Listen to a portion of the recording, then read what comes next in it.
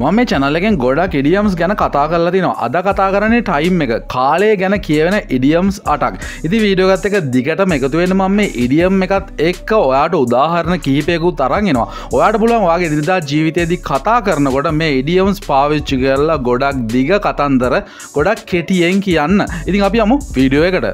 Number one 9to5 job. මේකන වාට කියපු ගමන් තේරනවා මොකක්ද මේ 9to5 ජොබ් කියලා කියන්නේ. නමේ නම් පහදක්වා සාමාන්‍යයෙන් කාර්යාලවල නැතම් ඔෆිස්වල වැඩ සිද්ධ වෙනති 95 ජොබ් කියලා කියන්නේ සාමානය නමේ ඉනම් පහ වෙනකං ගත කරන රැකියාවලට. Kamal works 9to5 job. Kamal වැඩ කරන්නේ සාමාන්‍යෙන් ඔෆිස් එක නමයයි පහ තමයි එයා වැඩ කරන්නේ. 9to5 ජොබ්සා බෝරිං ඔෆිස්වල මේ වැඩ කරන මේ ජොබ්ස් ඇත්තටම අපිට සතුනින් කරන්න බෑ. ගොඩක් ඒවා හරිම කම්මැලි බෝරිං අයිවුඩ් රාද රන්මයි ඕන් බිස්නස් ඒක නිසා මං මගේම ව්‍යාපාරයක් කරගෙන යනවා. ඉතින් අරක ඩිය මගේ ව්‍යාපාරයක් කරගෙන එක හොඳයි කියල් තමයි මෙතනින් කියන්නේ. 9to5 job suits you best if you don't like traveling.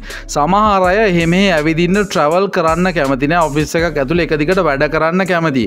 ඉතින් එහෙම කෙනෙක්ට මේ ජොබ් එක සෙට් වෙනවා. මෙතන කියන්න තේම තමයි. 95 ජොබ් එකක් සෙට් වෙනවාට ගැලපෙනවා ඔයා ට්‍රවල් කරන්න කැමති කැමති කෙනෙක් නෙමෙයි නම් ගමනාගමනය නිරත වෙන්න කැමති කෙනෙක් නෙමෙයි නම්. ඉඩියම් නම්බ 2 ඇද්දි ඉලවන්ත් අව මොකක්ද මේ ඉලවන්ත අව එකක් කියලා කියන්නේ එකොලොස් වෙනි පෑගැනන නෙමෙයි මෙතන කියන්නේ අන්තිම මොහොතේදි අන්තිම තප්පරේදි මොකක්හරදයක් පටන්ගන්න ඔන්න මෙන්න කියලා තියෙද්දි මොනෝහරි දෙයක් කරනවනම් අපිට කියන්න පුළුවන් ඇද්දි ඉලවන්ත් අව කියලා. He always changes his decisions at the 11th hour. මෙහෙම මිනිස්සු ඔයාටත් ඉන්නවද සමහරු තීරණය වෙනස් කරනවා අන්තිම වෙලාවෙදි. එහෙමුණාම අපි ගොඩක් අමාරුව වැටෙනවා. මෙහෙම කතාවක් තමයි කියන්නේ ඔහු හැම වෙලේ මොහුගේ තීරණය වෙනස් කරනවා අන්තිම මොහොතේදී he always changes his decisions at the 11th hour. It's impossible for me to handle this issue. impossible කියලා කියන්නේ කරන්න බැහැ කියන එක. මේ ගැටලුව විසඳන්න මේක හසුරුවන්න මට හැකියාවක් නෑ.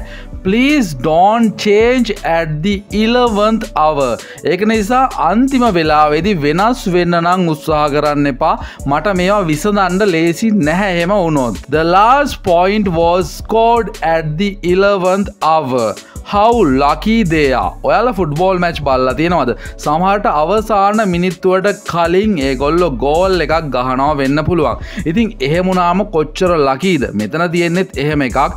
තොල්ලාස් පොයින්ට අන්තිම ලකුණ වෝස්කෝඩ් ඇඩ්දි ඉලවන්ත් අව අන්තිම මොහොතිද තමයි මේ ලකුණ එගොලො ලබාගත්තේ කොච්චර වාසනාවන්තද යාල? හවු ලකී දේ ආ ඉඩියම් නම්බ 3 ලයි කලොක්වර්ක් මොකද මේ ලයි කලොක්වර්ක් කියලා කියන්නේ? හැමදාම එකම දෙයක් නිශ්ෂිත වෙලාවට සිද්ධ වෙනවනං. ලයි කලොක්වර්ක් කියල තමයි අපි කියන්නේ. As long as things go like clockwork. We will finish on time. හිතන්න කම්පැනී එක වැඩ ටික එක ගානටම සිද්ධ වේගෙන යනවා. ඉතින් ඔයාලට සිද්ධ වෙනවා නේද? ඔයාගේ වැඩේ නියමිත වෙලාවට ඉවර කරන්න. දේවල් නියමිතව සිද්ධ වෙන තාක් අපිට පුළුවන් දේවල් වෙලාවට ඉවර කරන්න. එක තමයි වාක්‍යයෙන් කියන්නේ. Everyday at 5am like clockwork. He goes to the gym. He's such a healthy man. හැමදාම උදේ පහට ඔහු ජිම් එකට යනවා මේක නිතිපතා සිදුවෙන දෙයක් තමයි like clockwork කියලා කියන්නේ.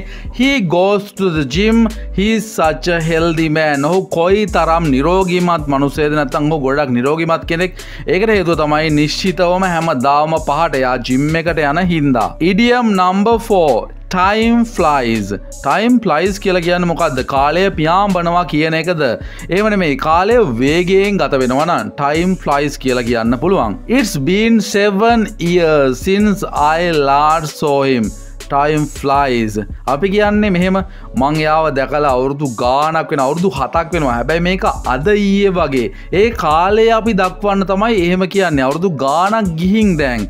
It's been 7 years. අවුරුදු හතක් ගත වෙලා. Since I last saw him. මං අන්තිම පාරට ඔහුව දැක්ක වෙලා විදං time flies. ඉතින් කාලය වේගයෙන් ගත වෙනවා. I can't believe that your youngest kid is about 20 now. Time flies. මට හිතාගන්නවත් බෑ මට විශ්වාස කරන්නවත් බෑ. ඔයාගේ පොඩිම ළමයත් අවුරුදු විස්සක් දැන්. මෙහම කියනවා ඇහිලා තියනද වාගේ අම්මලගේ තාත්තලගේ යාලෝ මෙම කියනවා ඇහිලා ඇති. ඔයාගේ පොඩි ළමයටත් දැන් පොඩි පුතාටත් මෙච්චර වයස ඉතින් හිතාගන්න බෑ. වේගෙන් කාලය ගත වෙනවා. ටයිම් ෆ්ලයිස් නම්බ5 බෙට ලේඩ් දෑන් නෙව මොකක්ද මේකෙ තේරුම? සමහර දේවල් තියෙනවා කවදාවත් කරන්න බැරිවෙනවට වැඩිය. පරක්කු වෙලා හරි අපිට ඒදේ කල්ලා දෙන්න පුළුවන්නම් ඒක ගොඩක් වටිනවා. ඉතින් ඒවගේ දේකට අප ඉංගලිශ්වලින් කියන්නේ බෙට ලේඩ් දෑන් නෙව කියලා. අයි බලම උදාහරණ His birthday was last week. ඕගේ උපන්දිනය තිබ්බ ගිය සතියේ. Would you like to send him something? ඔයා කැමතිද ඔහුට මොනවහරි යවන්න? නැබැ උපන්දින දැම් පහුවෙලා තියෙන්නේ. ඒත් ඔයා කැමතිද ඔහුට මොනවහරි යවන්න? Oh, ඕ රියලි ඇත්තටමද? I didn't know that. මම ඒක දැනගෙන හිටිය නැහැ. අයිල් සෙන් හිම පෝස්කාඩ් මං ඔහුට පෝස්කාඩ් එකක් යවන්නම්. බෙට ලේඩ් දෑන් නෙව පරක් වෙලා හරි අපි එක කරන එක හොඳයි. නොකරම ඉන්නවට වඩා. වයි ආයු සෝලේට් ඇයි ඔයා මෙච්චර පරක් වෙලා ඇවිල්ලා ඉන්නේ. We've been waiting for 2 hours. අපි පැය දෙකක් තිස්සේ බලාගෙනන්නවා. I'm sorry මට සමාවෙන්න I got stuck in traffic. මම ට්‍රැෆික් එකේ හිරවෙලා තමයි හිටියේ but better late than never.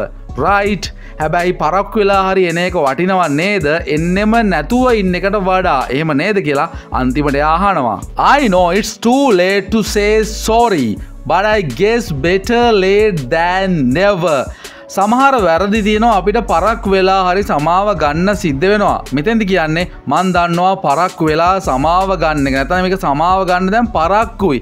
හැබැයි මං හිතනවා පරක්කු වෙලා හරි මේක කරන එක හොඳයි. කවදාවත් සමාව ගන්න නැතුව ඉන්නවට වඩා. නම්බ6 in the long run. යම් කිසි දෙයක් දීර්ඝ කාලයක් තිස්ස සිද්ධ වෙලා ඒක ප්‍රතිඵලය අනාගතයේදී සිද්ධ වෙනවනං මොක්කරි කාලයක් තිස්සි වෙලා එක අවසන් ප්‍රතිඵලය අනාගතය වෙන්න ඉඩ තියෙනවනං ඔයාට කියන්න පුළුවන් ඉන්ද ලෝං රන් කියලා smoking can harm your health. You may run a great risk of lung cancer in the long run. Smoking එමනත්තන් දුම්බොන එක අපේ සෞඛ්‍යයට හානි වෙන්න පුළුවන්. ඔයාට ලොකු අවධානමක් තියෙනවා. මොකක් වෙන්නද? පෙනහලු පිළිකාවක් වැලදෙන්න දීර්ඝ කාලයක් ගියාට පස නැත්තං අනාගතයේදී පෙනහලු පිළිකාවක් හැදීමේ අවධානමක් තියෙනවා. Investing networking can benefit you in the long run. මෙතන කියන ව්‍යාපාරයක්. ගැන නෙට්වර්කින් කියන බිස්නස් එකේ ඔයා ආයෝජනය කරන්නවන ඉන්වස්ටිං කරනවනන් ඒක ඔයාට ප්‍රතිඵල ලබා දෙන්න දීර්ඝ කාලීනවා එම ඉන්වස් කොළොත් වාට දීර්ඝ කාලීනෝ ප්‍රතිඵලයක් ගන්න අනාගතයක හොඳ ආයෝජනයක් වෙයි කියලා මෙතන කියනවා. නම්බ 7 බීඩ්ද කලෝක් බීඩ්ද කලොක් කියලා කියන නියමිත වෙලාවට කලින් අපිට පුළුවන්න යමක් අවසන් කරන්න අපිට පුළුවන් බීඩ්ද කලොක් කියලා කියන්න. හරියප් ඉක්මං කරන්න. We can be late for this important meeting. මේ වැදගත් රැස්වීමට අපිට බෑ පරක්කු වෙලා යන්න. We need to beat the clock. අපිට වෙලාවට කලින් එතෙන්ට යන්න සිද්ධ වෙනවා. Our new campaign will be launched in 4 days. let's beat the clock. අපේ අලුත්ම කැම්පේෙන් එක දවස් හතරකින් රිලීස් කරන්න. එමනැත්තන් නිකුත් කරන්න කටයුතු සූදානම් කරලති නැත්තන් දවස් හතරකින් අපිට ඒක නිකුත් කරන්න සිද්ධ වෙනවා. එක නිසා අපි ඉක්මනට දේවල් කල්ලා අවසන් කරමු. Let's beat the clock. If you want to win the race. You have to beat the clock. ඔයාට තරගේ දිනන් අවශ්‍යයි නං ඔයාට සිද්ධ වෙනවා ඉක්මං කරන්න. අදාළ වෙලාවට කලින් දුවන්න.